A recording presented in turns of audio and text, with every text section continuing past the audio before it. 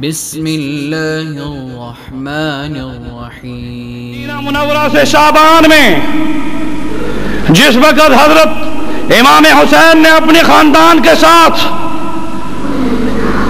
हिजरत फरमाई, मक्का तशरीफ़ ले गए तो कितने महीने मक्का में बैठे?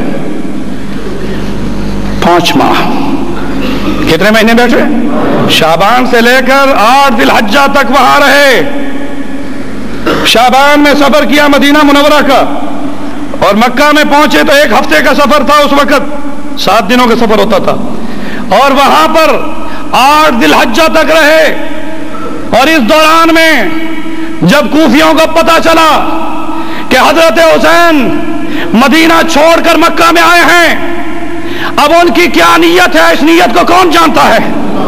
कौन जानता है? लेकिन इस दौरान में अठारह हज़ार खत किन्होंने लिखे थे? बोलो। कौन थे वो कूफी? यही हाय हाय करने वाले मेरे दोस्तों, अठारह हज़ार हाथ आए। जब बारह हज़ार हाथ पहुँच चुके थे तो हज़रत हुसैन रज़ी अल्लाह ने तस्दीक कराने के लिए कि क्या ये सच्चे हैं? अपने चचादाद भाई अकील के बेटे मुस्लिम को दो बच्चों के साथ भेजा। जंग करने वाला दो बच्चों के साथ जाते बोलो। हालात का जायजा लेकर मुझे बताएँ। मुस्लिम बिन अकील अकील हज़रत अली के भाई थे और जाफिर भी हज़रत अली के? बोलो। भाई थे। अब ये चचाजाद भाई, अकील का बेटा, अली का भतीजा, हज़रत हुसैन का चचाजाद भाई, ये उस वक्त कूफे में पहुँचते हैं।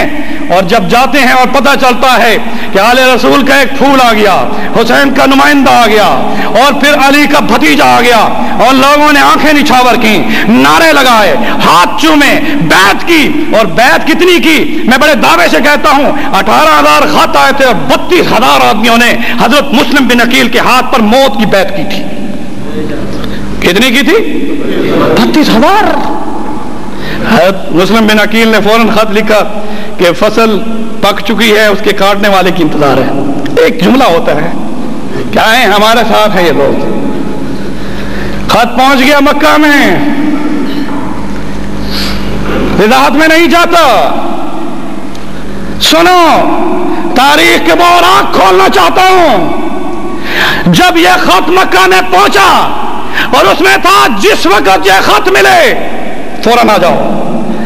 तो हज़रत हुसैन ने इतनी इंतज़ार ही नहीं की कि कल का दिन जो है योम आरफा होने वाला है नौ दिल हज्जा को। उसी वक्त उन्हीं कदमों पर अपनी औलाद को लिया। लोग एहराम बाँध कर मिना जा रहे थे और हज़रत हुसैन करबला की तरफ़ जा रहे थे। अब्बास के बेटे अब्दुल्ला। अब्दुल्ला बिन अब्बास ने हज़रत हुसैन को इतना प्यार दिया, हाथ पकड़ा, बाजू पकड़े, मिन्नत की, कहा, मैं तेरा चच्चा भी हूँ, मेरी बात मान ले, कूफे वालों ने तेरे बाप के साथ वफा नहीं की उन्होंने मदीने से खिलाफत को मुंतकिल कराया था, मदीना दारुल खिलाफा था, इस्लामी रियासत का दारुल खिलाफा मदीना था, इन कूफियों इलाकियों ने उस मदीने को कूफा से, कूफा में मुंतकल किया, और अब फिर वो यही चाहते हैं कि हमें मसनद मिले, हमें नौकरियाँ मिले, हमें क्योंकि दारो खिलाफा में बहुत कुछ होता है। हुसैन यहाँ तशरीफ़ लाए, यहाँ झंडा गाड़े और हम अपने मनसब के गीत गाए। ये किसने कहा था? लबिन अब्बास ने रज़ी अल्लाह तला जो मुफसर कुरान हैं जिनको रसूलुल्लाह ने दुआ दी थी कि कुरान और इल्म इल्म का नूर इसके सीने में पुर हो जाए। जिसके इल्म की, नूरानियत की दुआ रसूलुल्लाह ने दी हो, वो अपने इल्म की आँखों से कैसे देख रहे होंगे? जब हज़रत हुसैन ने मानने से इनकार कर दिया कि नहीं, मेरे भाई मुस्लिम ने मुझे हुक्म कर दिया है और मैंने बोलो, जाना है। उन्होंने कहा, मैं कुछ नहीं कर सकता, हम तो एहराम की हालत में हैं। अब लड़ाई तो वहाँ नहीं होनी थी, अभी कोई लड़ने के लिए तो जा ही नहीं रहे थे। हज़रत हुसैन तो ये नहीं फरमाते थे कि मैं जंग के लिए जा रहा हूँ। जंग पर जाने वाले तैयारी करते हैं, ऐलान करते हैं कि आओ मेरे साथ चलो। वहाँ तो रोकने वाले रोक रहे हैं और वो फरमा रहे हैं कि नहीं, मुस्लिम बिन अकील का खाता है, वहाँ मैं उन लोगों को देखना चाहता हूँ। इस दौरान में मुस्लिम बिन अकील, जिस वक्त नौमान बिन बशीर, वहाँ गवर्नर था, कूफा का यजीद की तरफ़ से गवर्नर था। किसकी तरफ़ से था? लेकिन उसने मुस्लिम बिन अकील की एक्टिविटीज़ को देखा और कोई हाथ नहीं डाला। बड़े दावे से कहता हूँ, कोई हाथ नहीं डाला। जब जदीद को यह पता चला कि गवर्नर कुछ नहीं कर रहा तो उसने अबैदुल्ला बिन जियाद को बसरा का जो गवर्नर था, कहाँ का था? इराक की बात कर रहा हूँ। इराक से इराक में मुंतकिली हो रही है। बसरे के गवर्नर को कूफा का गवर्नर बनाया। इबन जियाद, ये बसरा का गवर्नर था।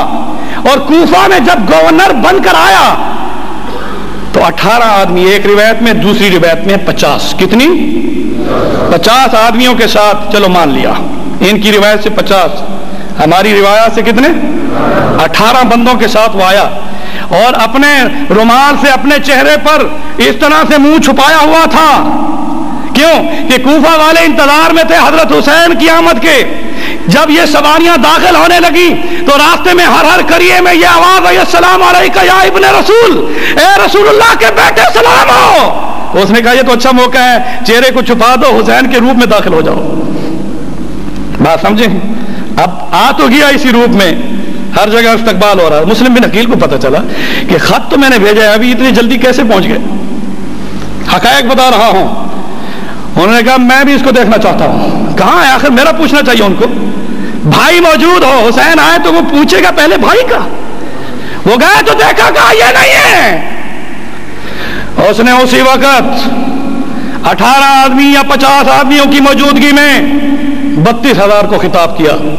बत्तीस हज़ार इन कूफियों में अगर ईमान होता तो फ़ौरन उसको पकड़कर मार देते। मगर उसने ये कहा कि आज रात तक मैं वक्त दे रहा हूँ कि मुस्लिम बिन अकील के हाथ पर जो बैत किया है उसको आप अपनी बैत को फस कर लें। नहीं तो फिर जो है गवर्नर जो ऑर्डर करेगा, फिर उस ऑर्डर पर लड़ाई होगी। उस वक्त इस ईलान पर बत्तीस हज़ार आदमियों में उसी वक्त, उसी ऐलान के बाद, छुप कर नहीं, जहरी तौर पर बत्तीस सौ हज़रत मुस्लिम बिन अकील के साथ खड़े थे, बाकी सारे उस गवर्नर के पास खड़े हो गए। बत्तीस सौ किसके पास खड़े थे? मुस्लिम बिन अकील के पास। और बत्तीस हज़ार में बाकी कितने कहा थे? मगरब की नमाज़ जब हज़रत मुस्लिम बिन अकील ने पढ़ाई तो कुछ सफ़ें वो बत्तीस सौ वाली थी। लेकिन ईशा की नमाज़ जब पढ़ाई और आजान जब हुई और उसके बाद सफ खड़ी हुई तो एक सफ बाकी थी। कोई वज़ू बहाने के बहाने से निकल गया। कोई कह रहा है कि मुझे हाजत है, चला गया। और जब नमाज़ का सलाम फेरा तो सिवाय अपने दो बेटों के कोई भी नहीं था। ये वाक्य कहाँ हो रहा था? वक्त नहीं, खोलता वरना। मैं खुलने पे नहीं आता, अगर खोल कर बताऊँ सीरत तो सी तारीख को तो सारी और सारे पलट कर आ जाते हैं कि किसने कत्ल किया हुसैन को? उन्हीं हाथों ने कत्ल किया जिन्होंने मुस्लिम अकील को कत्ल किया। मेरे दोस्त और बुजुर्गो, कोई भी नहीं, कितने? दो बेटे। मुस्लिम को अपनी फ़िक्र नहीं थी, इन दो नन्हे मुन्नों की फ़िक्र थी। उन्होंने उन दो बेटों को छोड़ देता हूँ इस वाक्य को भी। किसी घर में दस्तक देकर दाखिल करा दिया कि इन बच्चों की हिफाजत करो और खुद रात भर घूमते रहे। कोई खाना नहीं खाया हुआ था। प्यास की शिद्दत भी थी। उसके बाद एक बूढ़िया के घर के आगे बैठ गए, नहीं जानते थे ये किसका घर है। और उस बूढ़िया ने देखा कि दरवाज़ा कुछ आवाज़ आ रही है, यानी रोने की दुआ मांग रहे थे।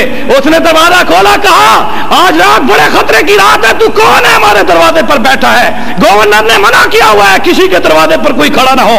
हमने अपने दरवाजे बंद किए हुए हैं। ने कहा, अम्मा बूढ़िया जिसके लिए बंद किए हुए हैं, वही मुस्लिम बिन नकीर रसूलुल्लाह की औलाद में से हूँ उसके दिल में तरस आ गया। उसने कहा, बुलाया भी हमने है बत्तीस हज़ार ने इस पर बैत भी की है। उसने दरवाज़ा खोल दिया। बुढ़िया ने कहा, आइए आइए, पानी पीजिए, इस कमरे में आराम कीजिए। अब ठट यहाँ जू ही दरवाज़ा खोला तो दूसरे कमरे में उसका बेटा था। उसने कहा, अम्मा, ये किसकी आवाज़ है? कहा, नहीं छोड़ो कुछ नहीं, कोई नहीं कोई नहीं। उसे पता था कि उस वक्त सारे कूफा के लोग इनाम की लालच में मुस्लिम बिन अकील के सर को इबन जियाद के सामने पेश करने में अपने आप को पेश कर रहे थे। उसने कहा, छोड़ो, कोई नहीं है। उसने कहा, नहीं, आवाज़ आई है। उसने जुमी दरवाज़ा खोला। तो देखा तो कौन है? मुस्लिम बिन अकील है। मुस्लिम बिन अकील रज़ी अल्लाह तु के चेहरे पर नूर, वकील के बेटे थे। वो सहाबी के बेटे थे। वो अब्दुल, अबू तालिब के पोते थे। इस तरह उनका खानदान अब्दुल मुत्तलिब तक जाकर रसूलुल्लाह से मिलता था। वो कैसी अजीम शख्सियत थे। जब उन्होंने उस बच्चे ने उनके चेहरे को देखा तो माँ ने भी कहा कि बेटा, ये हमारे घर की खुश नसीबी है कि आले रसूल में से कोई यहाँ है। उसने उस वक्त तकिया किया। तकिया करके हाथ चूमा हज़रत मुस्लिम बिन अकील का, माथा चूमा, कहा हलन व सहलन, हमारे घर में आना, मेरी माँ जिस तरह खुश हो रही है, मैं भी खुश हूँ। अम्मा, मुझे इजाज़त दो, मैं इस खुशी में दो रकात ना पढ़ लूँ। उसने कहा तो बड़ी खुशी की बात है, इतनी बड़ी बात कर रहा है। जो बेटा तहजत न पढ़ने वाला रात को आज तहजत पढ़ना चाहता है, वज़ू किया। जब वज़ू के लिए माँ ने मुसल्ला डाला, यहाँ पर वो कहते हैं, नहीं, मैं उसी मस्जिद में जाकर पढ़ूँगा जहाँ हज़रत अली ने अपने हाथों से मस्जिद कुफा में बनाई थी. उसने कहा, रात का वक्त है, कुफा की मस्जिद में हज़रत अली ने बनाई थी वो मस्जिद. कहा, उसमें जाकर कैसे तू नमाज़ पढ़ेगा? कहा, शुक्राने की नमाज़ है, मैंने पढ़नी है. माँ को यकीन आ गया कि बेटे के दिल में मोहब्बत है, क्योंकि क्या कर रहा था? बोलो, हाथ चूम रहा था, माथा चूम रहा था। कभी गौर किया है तुमने इस बात को? उसके बाद माँ ने समझा कि कूफा की मस्जिद में जा रहा है और सीधा इब्ने जियाद गवर्नर हाउस में जाता है। बेटा इब्ने जियाद के पास जाता है। कहते हैं, पहले इनाम दो, सस्ते हाथ, कोई भी नहीं, घर में कमरे में बंद है, पेश करता हूँ। ये कौन था? मदीने का बंदा था। बोलो, मक्का का था? शाम का था, बसरा का था, कूफा का था। और उसके बाद मुस्लिम नकील पर यलगार होती है उसी घर पर। और पत्थर बरसाए जाते हैं। लेकिन वो मुजाहिद उसी वक्त बैर निकलता है। कहता है कूफा तुमने मेरे साथ बेवफाई सिर्फ़ नहीं की, बल्कि मेरे आने वाले भाई के साथ बेवफाई की है। मैं तो शहीद हो रहा हूँ, मगर मेरी वसीयत, मेरा खत तो नहीं जा सकता। हुसैन तक ये पैगाम भेज दो कि यहाँ माता है कूफा वाले बेवफा है। हज़रत मुस्लिम अकील को उस वक्त पत्थर मार मार कर शहीद कर दिया गया। और पहले पकड़कर इब्ने जियाद के पास लाया गया। फिर उसके बाद उनको सवारी पर बिठाया गया। उन्हें कूफा की गलियों में फिराया गया। मेरे दोस्तों, कोई ऐसी बात तो नहीं। बत्तीस हज़ार आदमी वो कहाँ गए थे? उसके बाद मैं कैसे बताऊँ? सुनो, कान खोल कर सुनो। उसी मजलिस में एक बूढ़ा था। जो वहाँ का नहीं था, उसका नाम हानि बिन उर्वा था। क्या नाम था? हानि बिन उर्वा था, जो रसूलुल्लाह का सहाबी था। उसने कहा, खबरदार यार रसूल है, इस पर हाथ मत डाल। बुढ़ापे की हालत में उस हानि को कोड़े मारे गए। सजा पाने वाला फिर भी मदीने का आदमी था। बत्तीस हज़ार आदमी कहाँ थे उस वक्त? मेरे दोस्तों और बुजुर्गो, मुस्लिम बिन अकील शहीद होने लगे, शहीद हो गए। और ये पैगाम हज़रत हुसैन कई मंजिलें तय कर चुके और उन तक पहुँचा। तो हज़रत हुसैन अगर लड़ने का इरादा फरमाते तो फिर अपने काफले वालों से ये कहते कि सोचो, फरमाया, कूच करते हैं, वापस जाते हैं। कहाँ जाते हैं? बड़ी तारीख के हवाले से मिंबर पर खड़ा हूँ कि वापस जाते हैं। मुस्लिम बिन अकील के भाइयों ने कहा कि अब हमारा भाई शहीद हो चुका है। कम अज कम हमें ये तो देखना चाहिए कि कहाँ दफन हुआ। हमें चलना है, देखना है, पूछना है, जानना है, क्या हुआ? इस्लाम के नशर इशात के लिए दीनी असलाही खुतबात दुरुस तफसर क़ुरान व हदीस और इस्लामिक लेक्चर सुनने के लिए मौलाना डॉक्टर अहमद अली सिराज का ऑफिशियल चैनल सब्सक्राइब करें और बेल आइकन को दबाएँ। Jazakumullahu khairah.